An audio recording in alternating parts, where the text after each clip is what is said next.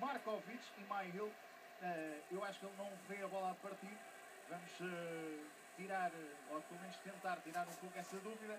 Aqui é uma grande defesa e depois não tem reação suficiente para travar o remate do jovem jogador do Benfica. Passividade. Passividade incrível da defesa do País de Gales contra estes jogadores e jogadores desta qualidade. Isto não pode acontecer. Uh, provavelmente irá acontecer aquilo que eu já estava a prever antes.